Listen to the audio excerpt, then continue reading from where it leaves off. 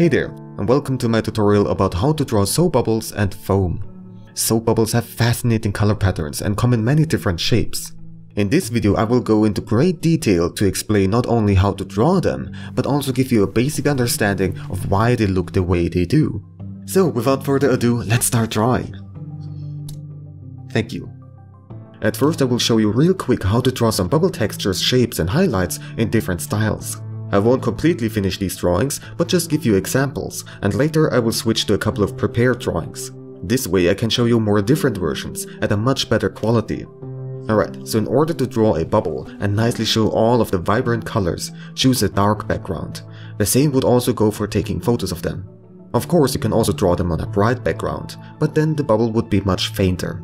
My color palette has very bright and strongly saturated rainbow colors. Of course, which colors you use is completely up to you. Of course, we're starting with the outlining. And I'm giving the outlining a bit of line weight to emphasize where the light is coming from. So here, on these sides here, the lines are a bit thicker. It doesn't have to be a perfect circle, like here by using a ruler, but also can have some kind of wobbly shape. Then I very lightly sketch in some shapes. They can be symmetrical or not. It is completely up to you. Their shapes can be more angular or rounder.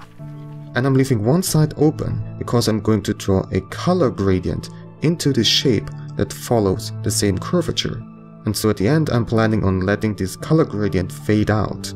So I just simply pick out the first color and fill in the side where we started and make sure that it is filled in real nicely.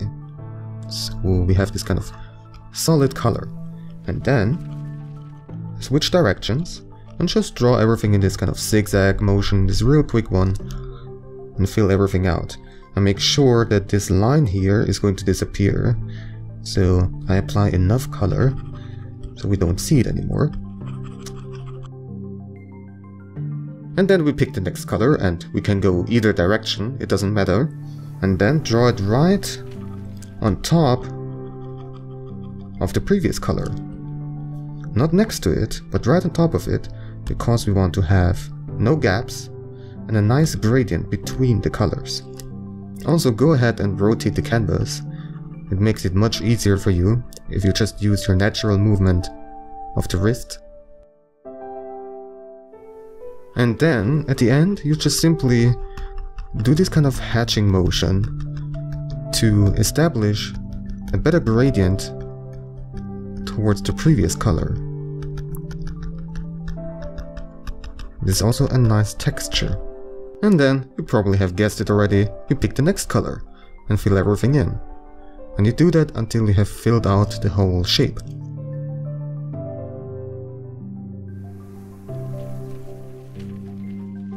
And then when you arrived at the end, you again want to establish a gradient, so you do this hatching motion, but this time into the dark background.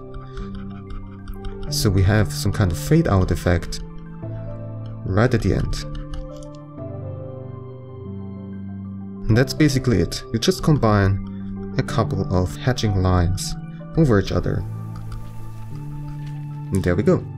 In order to make some corrections, you can just simply use a blending tool. Or, if you're using traditional media, just use your finger for example, or some kind of tissue, and blend some of the colors together. You don't want to overdo it, because we still want to keep the texture. Well, if you want to keep it, that is. It's still completely up to you how much you're going to blend. And you do that with all of these shapes, you just fill them out with whatever colors you want and establish some really nice looking gradients. But that alone is not enough of course, so what I like to do is to give these shapes some white outlining to indicate that there are some kind of highlights around them. Also, I'm going to bloat up this corner here in particular so it looks like a really big highlight is sitting right here. These outlines don't have to be uniform, they can have a varying line weight however you see fit, and also they don't exactly have to follow those shapes, they can even overreach. It is completely fine, it's completely up to you how you want to draw them. To make this corner even extra bright and shiny looking, you can once again draw with the same kind of motion from before some white into these colors here and establish a gradient once again with this hatching motion and this way this corner looks extra bright. You can do the same for some other spots in these shapes. Completely up to you. Whatever you want to see a bit brighter. And as the last extra touch, we're going to add some kind of lens flare effect to this corner. So you draw these lines that are quite thick right here in the middle and then fade out, they get thinner and fainter. And then what you can do in order to make them fade out is to draw these lines and dots. I normally draw these horizontal lines extra wide and then we have some spikes and lines pointing into other random directions. How many you have of them is completely up to you, of course. Once again, we also have these kind of small dots and lines to make them fade out.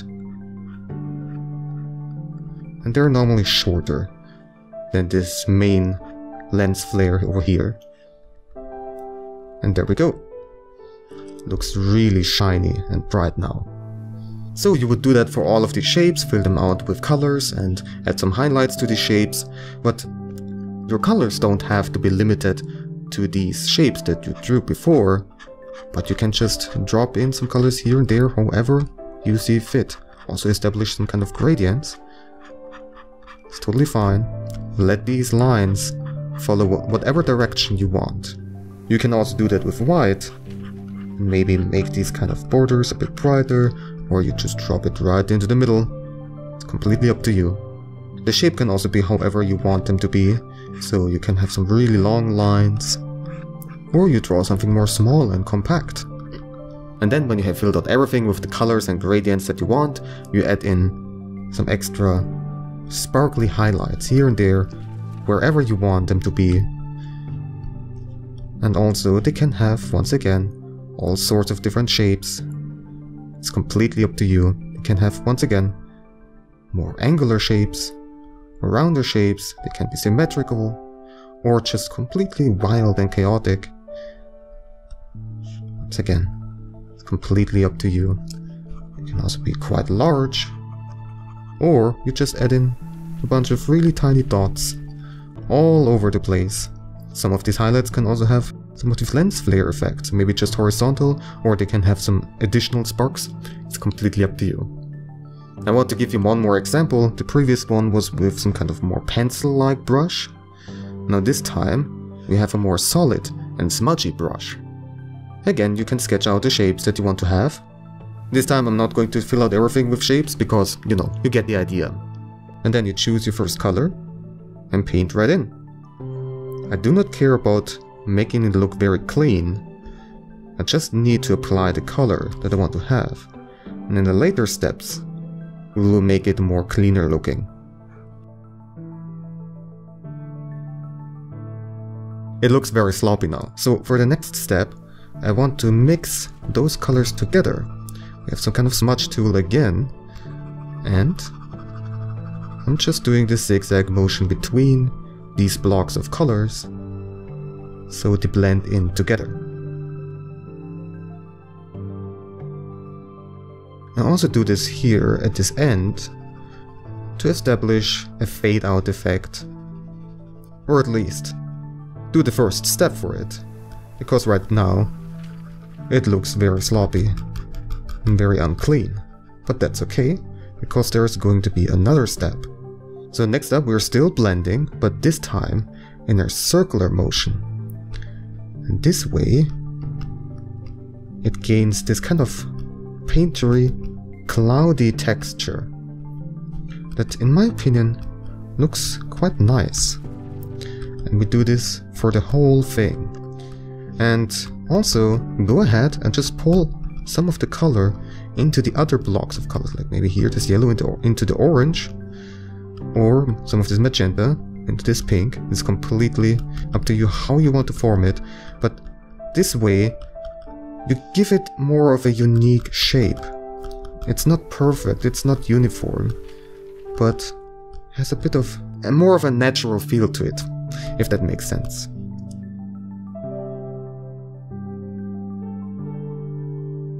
And there we go, we have our block of color in a nice texture. And next up, once again, we can outline everything with white. And keep it like before, it's not all that different. You can once again have a corner that it's going to be very bright. You can paint some of this white into the color once again and then smudge everything together in a similar circular motion to have a bright looking corner. With the smudge tool you can make some adjustments to these lines here too. And also, once again, you can give this corner some kind of lens flare effect. This time, it is going to look a bit more smudgy. So, you kind of stretch out this white further and further. You can also use some kind of blend tool in order to stretch it out even further. And as the last extra touch, what you can do is use a very very light tool, like an airbrush tool, and just paint in some white around the highlight. Just very very lightly and with a wide radius, so it looks quite shiny. And you just can drop in some of this white here and there too, to make some spots brighter. And you can do the same to, for example, those outlines, to make them also look shinier. Or if you have some highlights here and there, then you can do the same. And that's a neat little trick to make everything of the bubble look extra shiny. There are many different ways to draw simple and stylized bubbles. You can be very creative with them. To give you more examples, here are a bunch of bubbles in different styles. For some of them I used the same techniques like those I just showed you. Like here we have this pencil texture, and below are some painterly looking ones. Instead of cramming these colors into these shapes, you could also paint them kind of as clouds. So here we have two examples. One has very faint colors, and the other one is really strongly saturated. To establish a texture like that, you use circular motions, similar to how I just showed you. Another way would be to draw the bubble with some finely drawn details and reflections. This example here in particular stands out quite a lot because of these mirrored images. So the examples I've shown you so far were fairly stylized. Now I want to explain to you how to draw more realistic soap bubbles. Here's another example of a bubble, but this time with more details. You can see the little mink taking a photo of this bubble and the picture shows two reflections of it, with one being flipped around. This is the picture I made before I transformed it into the bubble. Pretty simple and cartoony, it just needed to get the point across. So, three things have been changed about this image. First of all, it is very transparent, as so bubble isn't the best reflector. Secondly, the image got distorted, the bubble is a three-dimensional shape, in this case a sphere. If you project an image onto a sphere, it will bend towards the edges. A sphere is also not a very precise kind of lens, therefore the edges get blurry. And last but not least, the image exists twice, with one of them inverted. The two sides fade into each other along the horizontal center line. To give you a better understanding as to why that is the case, I made a little simulation on a super useful website. Alright, at first glance that might look confusing, but the setup is very simple. By the way, these explanations about the science behind soap bubbles aren't essential for drawing them. If you are only interested in the drawing parts of this video, you can skip some sections by using the timestamps. However, I personally think that it's still interesting to know, and understanding how the things you draw work can be useful in certain occasions. So I have a point light source that sends out light rays in all directions. In this simulation I can control how many light rays it produces. And on the other side there is a half circle, which is supposed to represent a profile of the back side of a bubble. Why only the back side? because I have the front side down here and we need to look at them separately. So this simulation can calculate how the light rays are reflected off these shapes, which here act as mirrors. So what you can see here at these two spots, the light rays in yellow and extended rays in orange are focusing. So at these focal points, we would see a real image and a virtual image. What does that mean? Let's say we have an arrow and the tip is our light source. The images are projections of this object, so basically what the camera is able to focus on and see sharply. And so we have two images of our arrow, one pointing up and one pointing down. It is thanks to the bubble's transparency that we are able to see both of these images at the same time.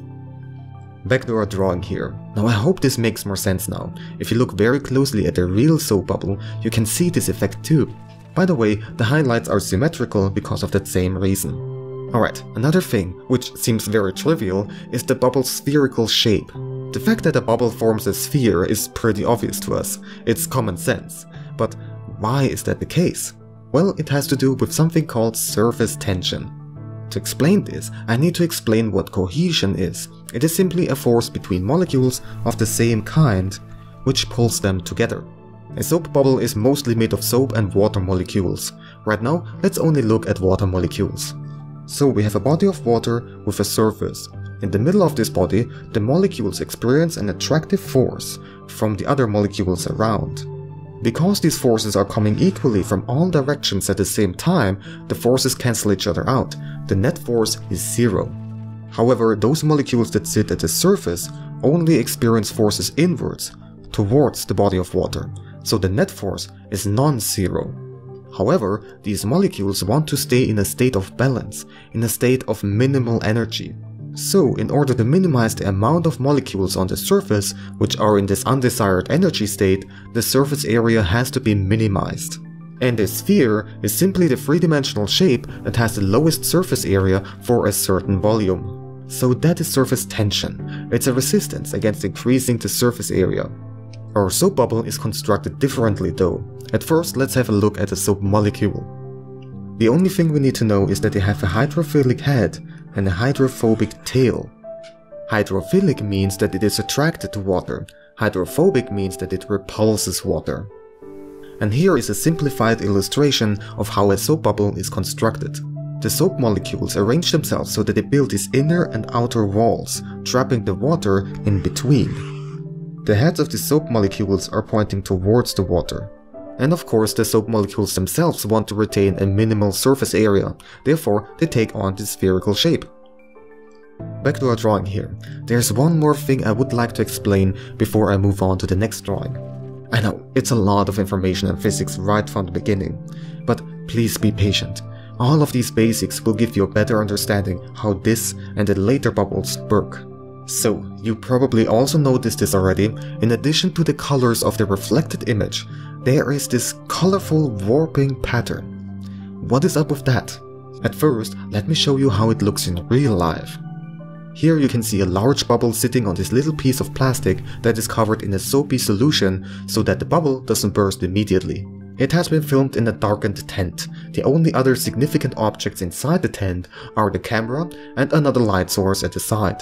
I wanted to create a very dark environment with a black background so that the bubble's color pattern can be seen clearly.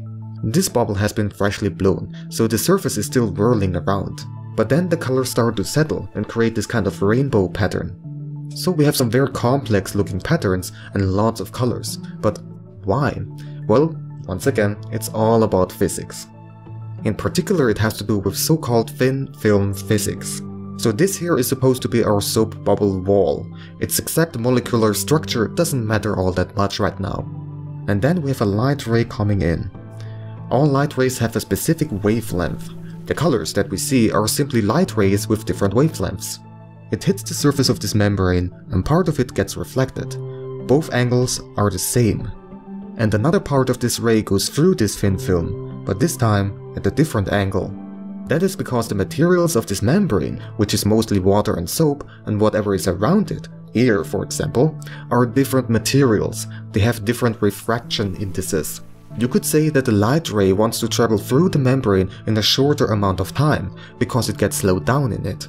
The soap water solution is denser than the air, therefore the light ray chooses a shorter path. As it hits the opposite surface, part of it travels through again. Its angle reverts to how it was before but another part of it gets reflected again. It travels back up, hits the top surface, and gets refracted back so that the angle is now parallel to this ray now. However, the waves of these two rays are shifted.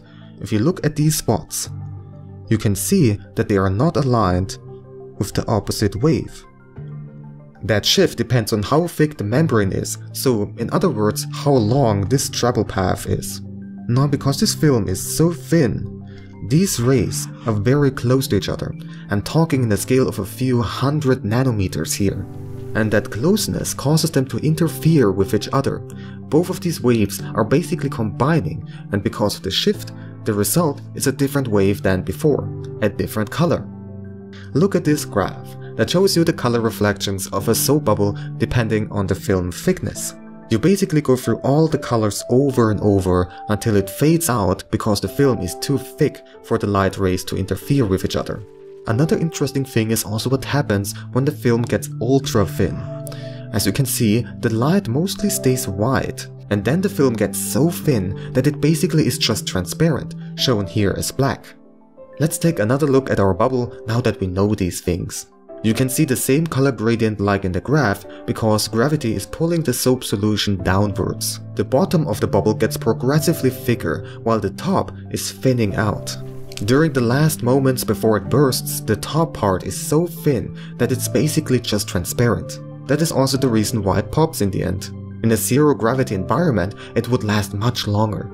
Alright, so you still might ask why these complex warping shapes are forming. Here is a photo as an even clearer example, not shot by me. So what happens is that films of different thicknesses don't completely mix together, they instead flow around and next to each other. It's a very complex and chaotic dance of colors, something simple math couldn't describe, but instead you'd need extensive computer simulations. Here are some drawings I made as examples. Even though at first glance it looks just completely abstract, there are actually some rules to follow to achieve these patterns. First of all, there are no sharp edges. Everything flows, everything is round. Then also try to think with drops, rivers and whirls. For example, we have this blue drop flowing into the yellow-orange sea, also making it form a drop shape. Inside the drop there are often also smaller shapes which follow the same flow. You can also add in tiny spots here and there. They can be a different color than the river they sit in, or just transparent, illustrated here as black. I personally find these black spots especially fascinating. They have a tendency of grouping together and forming large holes. These larger shapes have most of the time kind of a striped pattern. When you encounter a freeway intersection, like here, again keep in mind that no sharp corners are allowed. Rivers can fade out, but normally do so in a very stretched out way. They are typical groups of colors, purple and blue are often next to each other, as are yellow and orange. Most of the time there is barely any red or green, that has to do with the color spectrum we saw before. As you can see here at the thinner side, there is basically no green or purple, and the larger thicknesses have no reds. I also went ahead and analyzed a couple of photographs of soap bubble surfaces just like the one from before. So these graphs show all the colors of certain pictures, where the angle indicates the hue, and the distance from the center represents the saturation. The dots are also colored accordingly. And then the density and size of the dots show how strongly certain colors were shown in the picture. And so if we take a closer look, you can see these bumps and gaps right where we have red and green. The pictures are very different from each other. They use different cameras, might have used some filters during photo editing, and the surfaces could have been overall thicker or thinner. But still, pretty much across all of them, you are able to notice these bumps. So if you want to use colors that are more realistic, then maybe avoid using too much red and green. Using all of these techniques and basics, you can be creative and draw shapes in a somewhat recognizable way. This is supposed to be PsichoFox's character. He wanted me to draw that soap bubble surface texture for a song that he thought of while watching me paint those kind of patterns during a livestream. And so I thought why not make it more interesting and include his Fox character here. I also recorded the drawing process to show you how I made it. At first I quickly painted the rough shapes and determined the general flow of the colors. And then I added smaller details and smoothened some edges. I do have to say though that this painting process is incredibly time consuming, especially if you make a large picture like this one. Of course there are also different ways to paint this kind of pattern. Some might require more time and some less. It also strongly depends on the tools you're using. Since we're already talking about the color patterns, let me move on to the next drawing, which is also a good example. So here we have several bubbles sticking together, creating this very unique shape. I completely overdid it with the color pattern, it took me forever. But at least it also serves now as a nice extra example for how the color patterns could be painted. I gotta say, this texture looks kind of mesmerizing, and painting something like this can feel quite relaxing. Alright, so now let's talk about the shape of this bubble cluster. I talked about the soap water membrane trying to always form a sphere to minimize its surface area. Now if you have two of these three-dimensional shapes joined together and intersecting each other, then that intersection will be two-dimensional. The smallest surface area between two spheres will then be a circle, as you can see here in this picture when you look at the largest bubbles. Just make sure you get the perspective right. A thing to consider however is that when two bubbles join together like that, both of them won't form two half spheres, but a little bit more than that. And then if you have three or more bubbles intersecting, then the intersection between all of them is reduced to one dimension, a line. Most of the time a straight line. You can go ahead and add as many smaller and larger bubbles as you want. Just keep in mind that as you add more, geometrically it will get more complex and confusing. The smaller bubbles tend to settle in the corners between larger ones. You can see that I didn't include a reflected image in this case, it would just be way too complex to draw something like that accurately. As for the light reflections, you can roughly repeat the same kind of highlight pattern on each bubble. Not exactly the same, but roughly. Also keep in mind that these bubbles are still mostly transparent. You can still see through them and therefore also see the bubbles at the back. These flat intersections can also look quite shiny. It is a good idea to only make those flat areas brighter that have the same angle relative to the light source and not all of them. This makes it even easier for the viewer to distinguish the individual bubbles. While I was filming some bubbles, I also recorded some footage of intersecting bubbles. They are not freely floating, but sitting on this sheet of plastic covered in soap solution. Nevertheless, this is still good for demonstration purposes pay attention to how the intersection areas and lines are shaped. Another thing that this footage is showing very nicely is the color gradient on the flat intersection area. Yes, those have color patterns too. It's also rather swirly and chaotic before it settles into an even striped pattern. I have to say, it is kind of fascinating to me to look at these videos. And let me tell you, every time I managed to blow some bubbles that lasted a long time, I felt really excited. Okay then, next up a drawing of a wobbly bubble. A large bubble can have quite an irregular shape shortly after it has been created. It takes some time to balance out the surface and form a close to perfect sphere. These shapes are rather complex, but actually not that complicated to paint. There are a couple of rules that you can follow. Uh, first of all, avoid any kind of sharp edges, make it round and smooth. To establish the general shape, at first you do the outlining, and then paint in some lighter areas. A good way to form the shape is to paint in the ridges, those corners in between bulges. You can make the edges especially bright and the center of the bulges stays mostly dark. Don't feel bad if it doesn't look right straight away, it sometimes takes a few tries and corrections. As with many things, practice and experience enables you to draw better and more consistently. As always I added a color pattern to it, not as detailed as the previous drawing though, this color pattern can actually help you further emphasize the shape of this bubble, although it is a bit challenging to distort it following the warpiness of the bubble. And then add in a bunch of highlights. Symmetry in this case doesn't really matter, just make sure to distribute highlights across the whole bubble. You can even let them roughly follow the shape of the bubble. Well, unfortunately these soap bubbles are very fragile and normally don't last all that long, especially the large ones. So when they come in contact with an object that is not covered in soap or water, or enough time passes and gravity thins out the top too much, then it is time for the bubble to say farewell and burst into thousands of tiny droplets. Unfortunately, I do not have a good enough camera for capturing that moment in high detail, but I can draw it.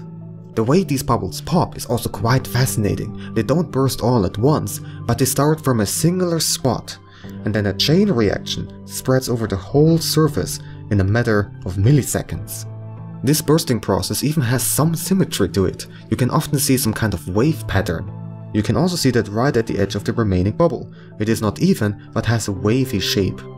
Of course it is not perfectly symmetrical, it is still mostly chaotic. So when you draw something like this, follow the original shape of the bubble. At the sides you draw more tiny droplets than at the center. That is simply because of perspective. The droplets are flying away from the bubble. It is an explosion. Vary the size of the droplets, don't make them too large though.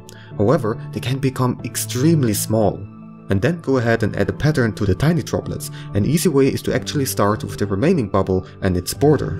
Right where you drew the peaks of this wave pattern, you imagine some lines drawn across the sphere converging towards the initial point where the chain reaction started. However, if a very wobbly bubble is bursting, there is mostly no visible symmetry because the initial shape wasn't symmetrical to begin with. A nice little extra touch is to make the back part of the bubble blurry. It adds more three-dimensionality. By the way, you can tell that these bubbles most likely popped because of some object and not because they ran out of time. They didn't burst from the top, and also the color pattern is not parallel to the burst edge. Alright, as the last part of this tutorial, I'm going to talk about foam. It's basically tons of tiny bubbles sticking together. However, drawing all of them in detail, like the ones before, would be ridiculous. Instead, you simplify them. Here, in this case, I just drew them as little circles.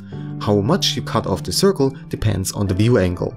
If you look at the foam from above, you draw them as complete circles. Or you paint them some white at first and cut out some tiny circles. These bubbles here swim on top of some kind of liquid, most likely water. Therefore, the shape they take is a bit less than half a sphere. When you look at the foam from the side, then that fact will become more visible. So drawing foam is mostly just drawing a simple pattern of circles or overlapping curves at varying sizes. Often the bubbles towards the edges of the cluster get progressively smaller and the large ones are more at the center. That is not always the case though. The small bubbles have no extra detail, but the large ones at least have some simple highlights. To add to the three-dimensionality, keep in mind the large bubbles form gaps inside the bubble clusters. You can see through them, so you can see that circular gap. Keep the perspective in mind though. Draw some small bubbles around that gap. And sometimes several large bubbles are sticking together. At this point you know how the geometry would work. A couple of smaller bubbles can also stack up next to these large bubbles. At the edge of the cluster, you normally have only one layer of bubbles, but towards the center, the density typically increases. The more bubbles are stacked above each other, the less transparent it becomes, until you basically just see white with maybe a faint texture. If you have a medium-sized bubble, you can draw a small bubble pattern inside it to indicate that there are more bubbles underneath it. Other than that, you can just broadly paint in some faint white over the areas that are supposed to be denser. And that's basically it. It's really not that complicated. It just requires some patience since it's quite repetitive. By the way, these bubbles don't have to be made of a soap solution, it's just that soap bubbles last longer. Before I started doing the research for this tutorial, I thought that it's going to be a rather short one. I was so wrong. It's crazy how much you can talk about so seemingly simple like bubbles. Originally I wanted to combine this video with underwater bubbles, but as I wrote the script and the pages started piling up, I knew that I had to make separate videos for them. Well, even after all these years of making tutorials, I still suck at estimating how much time and effort it is going to take me to prepare one about a new topic. So that's it for this video. If you want to see more, I have plenty of other tutorials, and this video in particular has been part of a series about water. Already made tutorials about water drops and underwater bubbles, and others about waves, splashes of waterfalls, rivers, clouds, and so on will follow. So subscribe and turn on the notifications so you won't miss them. Well, you know all that self-promotion stuff. Thank you a lot for watching. If you have any questions or constructive feedback, then please leave a comment down below. And for more information and links, please check out the description of this video. There's quite a lot in there. Alright then, have fun drawing.